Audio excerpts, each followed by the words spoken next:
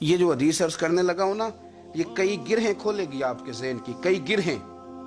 हज़रत अबुल अहवस रदी अल्लाह तला नबी करीम की बारगाह में अर्ज़ करते हैं। बाज़ात बंदा कुछ बातें अर्ज़ करता है तो महसूस होता है कि ये बंदा ना बड़ा उकता गया, या बड़ा थक गया।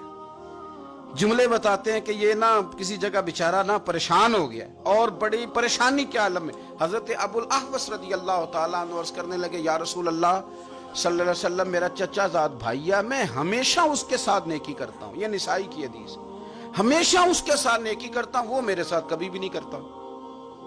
मैं हमेशा नेकी करता हूँ, वो कभी भी नहीं करता। हुजूर, अब मैंने भी कसम उठा ली है। मैंने भी नहीं नेकी करनी उसके साथ। क्योंकि मैं हमेशा करता हूँ, वो कभी करता ही नहीं। उसने कभी जवाब ही नहीं दिया मेरी नेकी का। होते हैं ना कुछ लोग, काम पड़े तो वो आ जाते हैं। और हमें काम पड़े तो वो छुप जाते हैं।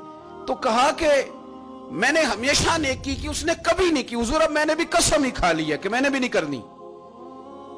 तो उनके जुमलों से यूँ महसूस हो रहा था कि थक गए प्यार कर करके उस शख्स ने रवैया इस तरह का रखा कि उकता गए।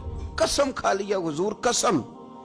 यार, ज़रूरी तो नहीं कि सामने वाला भी नेकी करे तो फिर ही करनी ताल्लुक कई दफ़ा दोनों समतों से कायम नहीं होता, एक समत से कायम होता है। दरवेश ने कहा था कि अंग यारी दा पालन औखा। ਜਿਵੇਂ ਤੰਦ ਸੂਤਰ ਦੀ ਕੱਚੀ, ਇੱਕ ਖਿੱਚੇ ਤੇ ਦੂਜਾ ਛੱਡਦਾ ਜਾਵੇ, ਇਹ ਤਾਂ ਰਹਿੰਦੀ ਜੇ ਪੱਕੀ। ਇੱਕ ਖਿੱਚੇ ਤੇ ਦੂਜਾ ਦੂਜਾ ਛੱਡਦਾ ਜਾਵੇ, ਤਾਂ ਦੋਨੋਂ ਖਿੱਚेंगे ਤਾਂ ਫਿਰ ਉਹ ਧਾਗਾ ਟੁੱਟ ਜਾਏਗਾ, ਅੰਗ ਯਾਰੀ ਦਾ ਪਾਲਨ ਔਖਾ।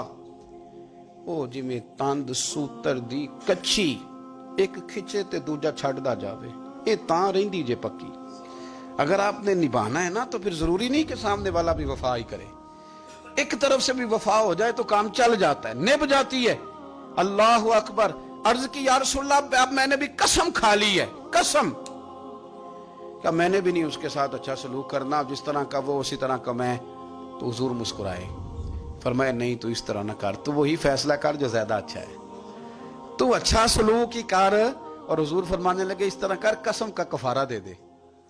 तू कसम का कफारा दे दे, लेकिन सलूक उसके साथ अच्छे वाला कर तूने सलूक बुरा नहीं करना तू अच्छा कर सलूक।